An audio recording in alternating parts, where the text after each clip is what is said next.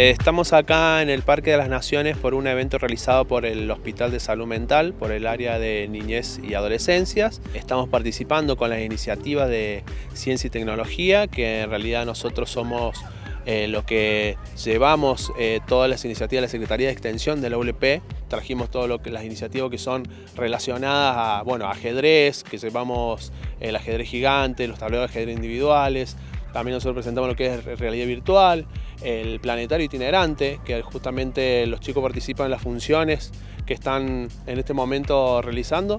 Y también bueno, tenemos lo que es robótica, tenemos lo que es eh, bueno, los talleres de reciclado.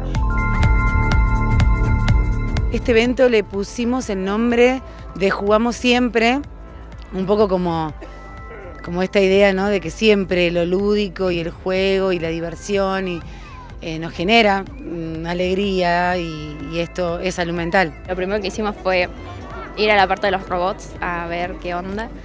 Eh, muy bueno la verdad, me, me re gustó, eh, muy divertido. Estuve jugando al ajedrez un rato con un familiar mío. No, perdí, perdí como los mejores. Por lo menos yo lo estoy pasando bien.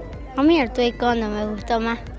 Yo jugué al robot en taekwondo y jugué al ajedrez un ratito. De la misma manera que trabajamos diariamente en el servicio que tiene que ver con convocar y trabajar interdisciplinariamente con otros sectores, la ULP, bueno, CPA, adicciones, suicidio, hay un montón de, de gente convocada, han traído unas actividades hermosas.